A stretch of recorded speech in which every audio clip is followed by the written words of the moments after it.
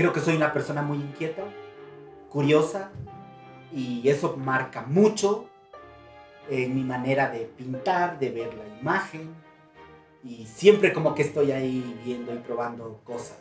Y claro, te das cuenta que la imagen tiene un poder de, para comunicar, para expresarse muy fuerte. Y comencé a... El primer libro, yo no entendía mucho de, de libros álbum, más, o sea, que de los que había visto, ¿no? Había visto muchos libros, eso sí. Al comienzo decidí hacer, como te dije, solo con un libro con, con, con imágenes, con una estructura narrativa sencilla, digamos, de dobles páginas, en donde cada doble página va contando una historia y, y es un juego, ¿no? Lo, va, lo, vas leyendo algún rato. Esa sería la primera, el primer libro que, que, yo hice, que se llama Segundo Acto. Lo presenté en el Fondo de Cultura, en el concurso Orillas del Viento. Eh, tuvo una mención y se lo publicó ahí. Entonces como que para mí fue ese un impulso de que, ay, ¿por qué no seguir haciendo libros? Me, se me metió ese bichito, ¿no? Soy daltónico. Tengo muchos problemas con el verde y con el rojo. Y creo que ahí, o sea, también es importante, cuando descubrí la serigrafía, sé que estoy trabajando con dos o tres o cuatro colores. Y no más. Entonces eso me permite saber de que esto es azul, eh, esto es naranja, y la mezcla del azul y el naranja es este marrón o verdoso, no sé. O siempre creo que es diferente. Nunca llegan los proyectos o los libros de la misma manera. A veces digo, ah, como que he encontrado una, un método, digamos, de trabajo que al siguiente libro, al siguiente proyecto, eh, me es obsoleto, no me funciona. Me gusta descubrirme, me gusta, no me gusta no soy muy cerebral, no creo que soy una persona así, esto viene acá, esto acá. Ahí, ahí me pones así en esos parámetros y me pongo muy nervioso, no hago nada, no me sale nada.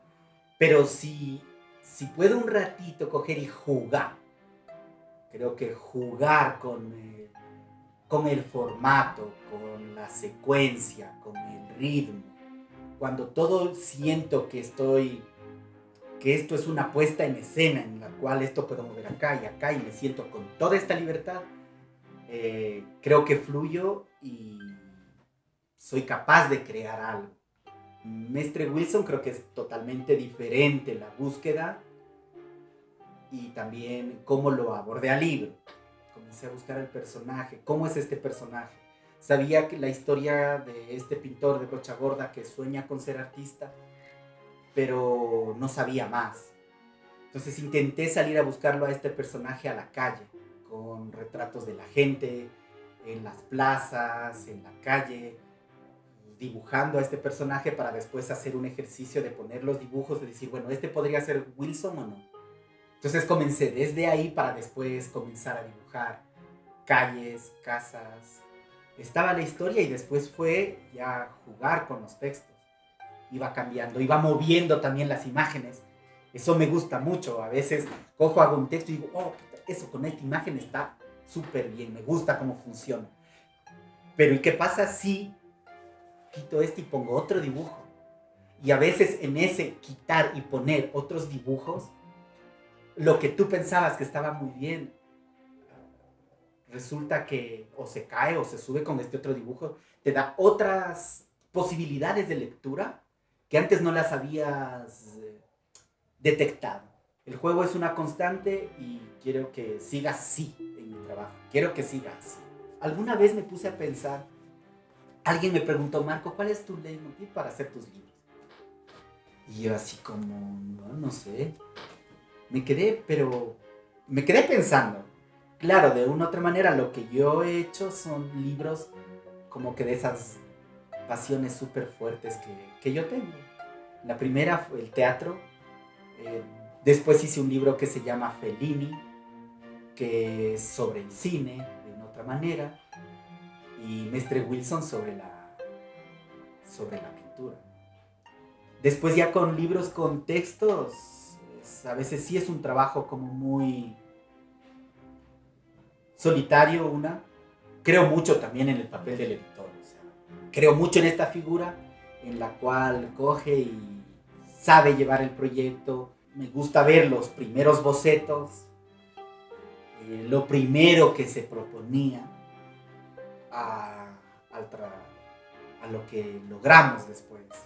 Que a veces las editoriales no le apuestan al libro álbum porque no, una, no hay un mercado como formado para este tipo de libros, hay tantas trabas con respecto a la infancia, con respecto al niño, y que si pones esto, el niño se va a traumar y si todas esas cosas que ya me asustan, de plano, todavía sigue siendo fuerte en el país, en el que se reconozca al ilustrador como autor, que se le pague derechos de autor, pero creo que no debería ser así las, cosas.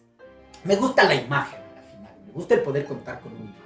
A veces, o sea, soy feliz con una imagen, o sea, soy feliz con una imagen también, con un, con un cartel, con un cartel y de pronto condensar en una imagen un mundo ya soy feliz. El, libro, como te digo, me lo tomo con más calma, le doy más tiempo para que se vaya decantando solo, no tengo ya ninguna prisa y creo que eso me encanta.